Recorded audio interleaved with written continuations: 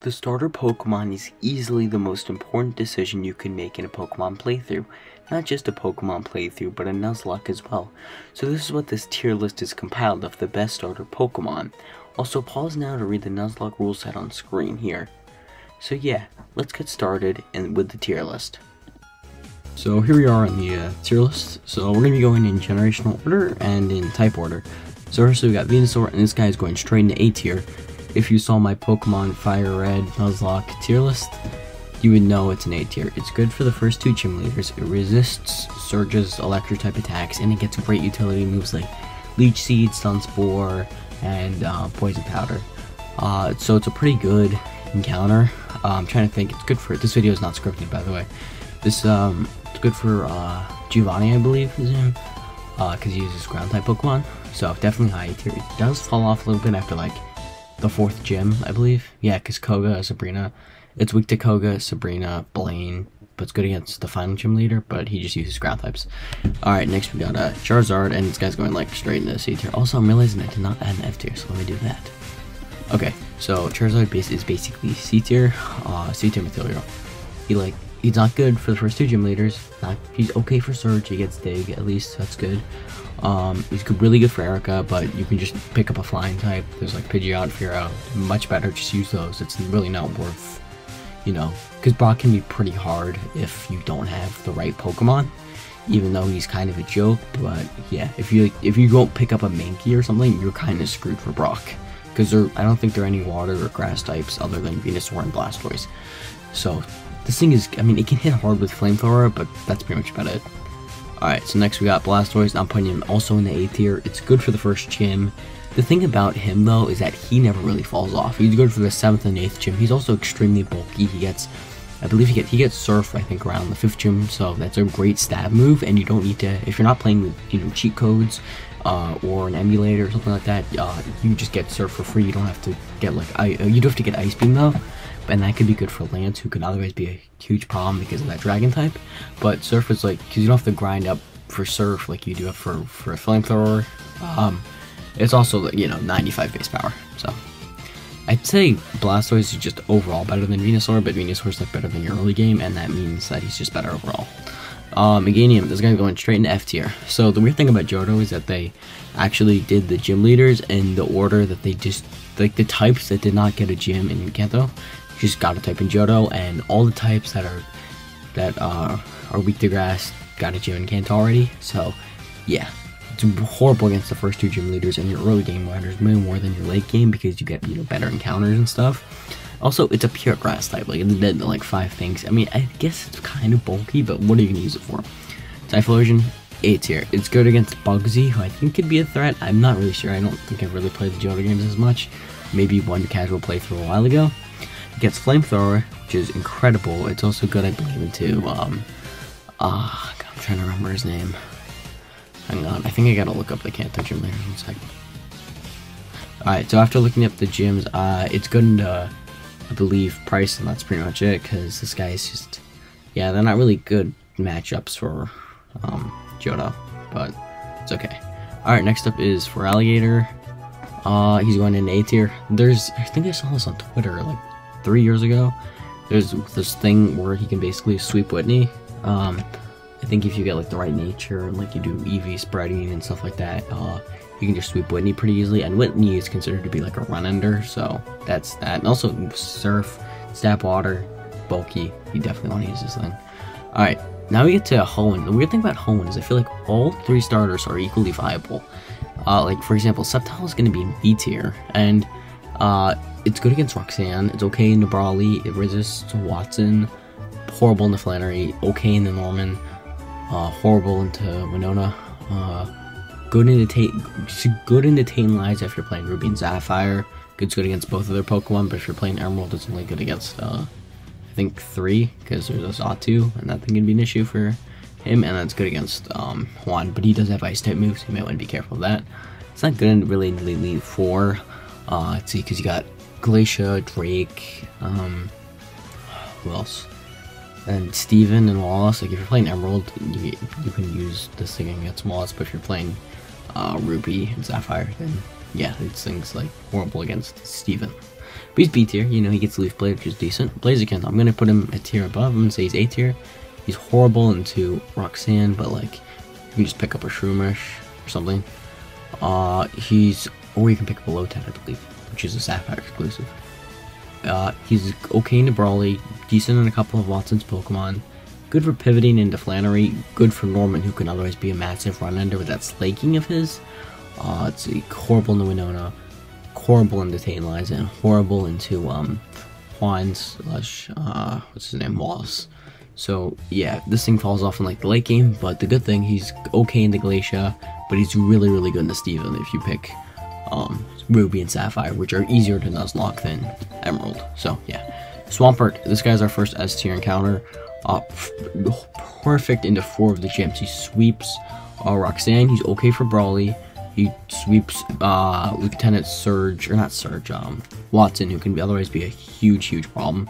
Uh, he's also really good in the Flannery, but he can have some problems with overheat and like body slam crits, so you might want to be careful of that. He's okay in the Norman. Uh, if you actually train your uh, EV spread, you can cheese the slaking with digs, I believe. Uh, I saw some flying Flygon HG video, but he used on Sandslash instead of his Swampert. Uh, yeah, it's good to Winona because it learns Ice Beam like every other water type so far. Great in Tate and Liza, can fire off stab surfs, and then it's, I guess it could be a pivot or something in the Juan, not sure. It's good for the Elite Four, can be good for Drake, can be really good for Glacia, uh, okay for Sidney. Oh, by the way, something I forgot to mention, Blaziken can be sweep Sidney, but sweep Sidney sweep Sidney, so it's not a big deal. And, um, what was the third Elite Four member? Uh, trying to remember his name. So we got Drake.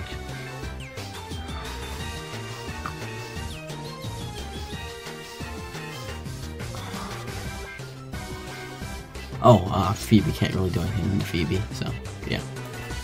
Uh, Torterra, this guy's going straight into uh, A tier. So he's good against the first gym leader, okay against the second gym leader. Don't think he's that good into Maylene. I mean, he could be okay. Uh, Fantina's okay. Crasher Wake, he's going to be solid into Crasher Wake. He's okay for the Elite Four. I mean, he's pretty bulky. Ground Stab Earthquake is amazing in this game. Uh, yeah, he's definitely A tier. And for another S tier, it's great for the first two gym leaders. Okay, can't really do anything to Fantina, can't really do anything to Wake. Uh, but it's great for the early game. Also, close combat, Mach Punch, Flamethrower, uh, great. And also, you don't have to buy Flamethrower in these games. There, it's in, I think, the Ironworks. You can pick up the team for Flamethrower, but that might be in Platinum. It's also good into Cyrus, and then some Cynthia's Pokemon, but pretty much every starter is good into at least one Cynthia's Pokemon. Empoleon, A tier.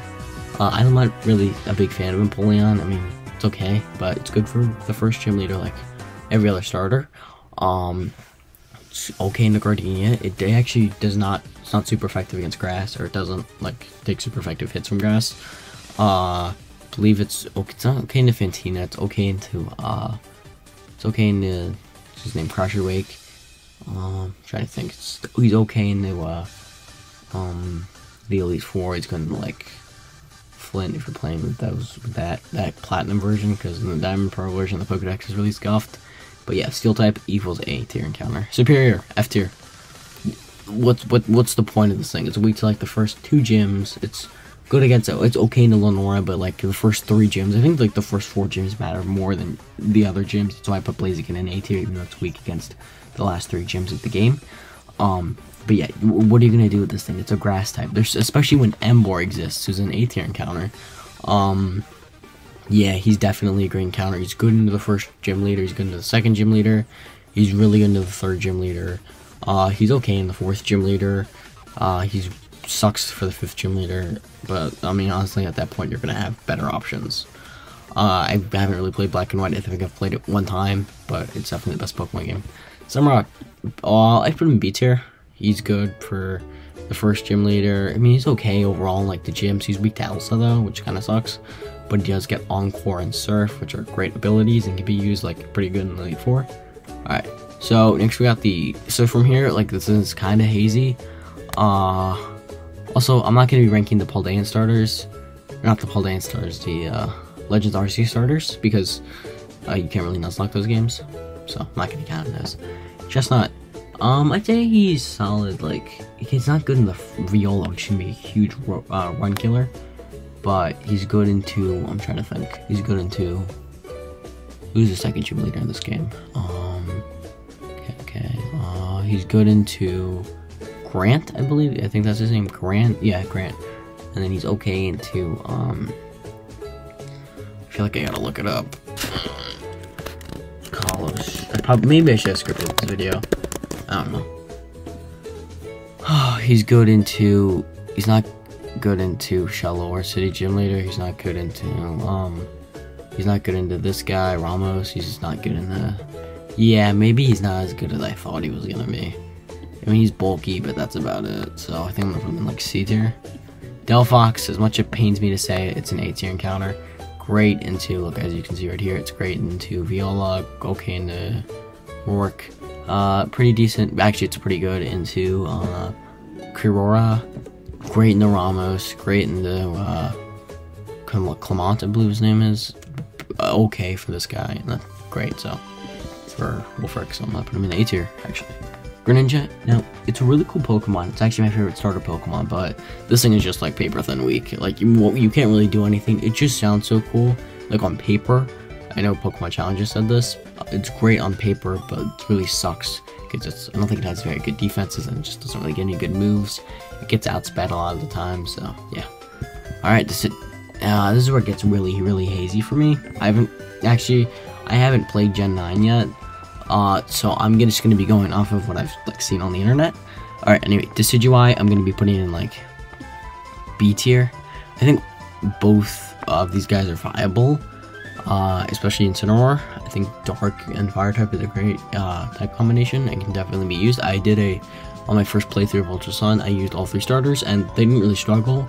Uh, I know if you're doing a Nuzlocke, it can be a little bit hard, but these guys are pretty good. Uh, ghost typings, and the dark beans are really really good and then Primarina is just gonna go in A tier because it has that fairy type and it's gonna like I think three of the four trials or kahunas and then it's good into some of the trials in the game so yeah Primarina is an A tier plus it's a water type alright um these Galar starters they're all singly they're all I can't even speak singularly typed so you can't really do anything with them so as a result I think I'm gonna be putting them all in that C tier like, Inteleon's gonna actually go D tier because it's a glass cannon, but it's also a water type, so it doesn't really have any weaknesses. Um, but Rillaboom and actually Rillaboom I'll put yeah, put ahead of him. But like, these guys just kind of suck. Can't really do anything. I'm gonna the reason I'm putting Cinderace in C tier is because it's good for the first gym leader, but like it's a grass type gym leader, so yeah, I just just I ditch. I mean, you can keep your starter, but I think I ditch it for like better Pokemon. Meowscarada, and it's going into A tier. Uh, it gets Flower Trick, I believe, which always crits and gets a, an attack boost or a special attack boost. I, again, I have not played Gen 9, so I have no experience, so this is with a grain of salt, a heavy grain of salt. Alright, last we got, alright, last we got Skeletorch, and I, what I've seen, this guy's an A tier with a Torch Song, which I think always goes first or something like that, and it gets a nasty special attack boost. So yeah, Alright, last we got Quavel, and he's going, from what I've seen, he's going in the B tier. He's okay, like water fighting's not that good in this game. Again, I have no experience with these guys, so I just wouldn't really know. Alright, well, those are all the starters. Uh, the reason why this video exists is because I may or may not have forgotten to record another video, which I probably should do. But yeah, anyway, thank you guys so much for watching. Uh, comment, like, and subscribe. I will see you guys next week. Bye.